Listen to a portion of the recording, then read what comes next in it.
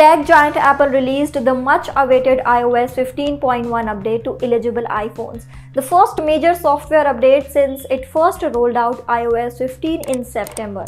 The latest update to iOS comes alongside the release of macOS Monterey, the updated operating system for Apple's Mac lineup.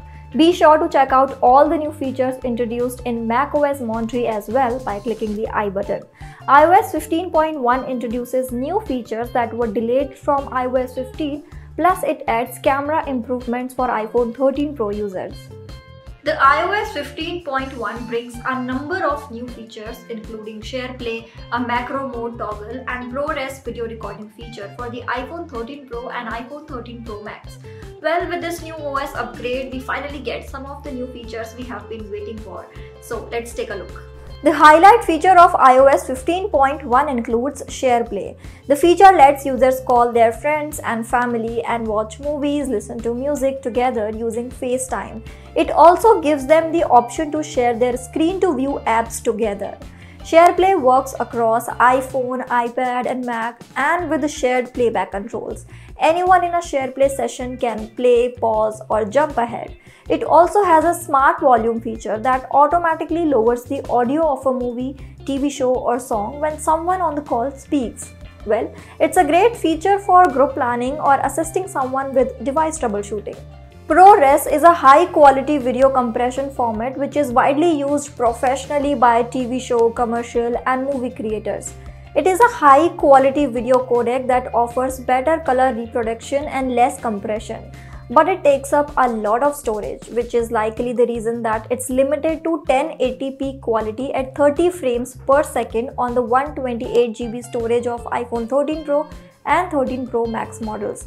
If you have higher storage capacity on your Pro, then 4K ProRes recording at 30 FPS is possible. Macro arrived with iPhone 13 Pro at launch and it automatically enables you to get close to a subject. Unfortunately, this caused issues for some users who were not trying to shoot in macro. To solve that, Apple added auto macro toggle to turn off automatic switching. This lets users switch to the ultra wide lens manually when they want to shoot in macro. Another new feature is verifiable COVID vaccination cards in Apple Wallet. Once added to wallet, they can be used to verify vaccination status at supported locations including airports, concert venues and more any application record available through the smart health cards. Specifications can be added to the health app and transferred to wallet.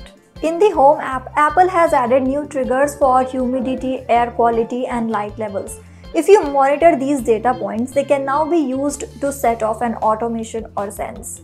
Lastly, the Shortcuts app has new options for Siri as well as macros for overlaying text on GIFs and images. The update includes several bug fixes for issues with photos, storage, the weather app, the wallet app, Wi-Fi and more. Users can simply go to Settings, General, Software Update to download and install the new iOS 15.1 update. We recommend you to take a backup on your PC or iCloud before installing the update. So that's all. What do you think about all the new updates? Do share your thoughts in the comments and don't forget to like, share and subscribe.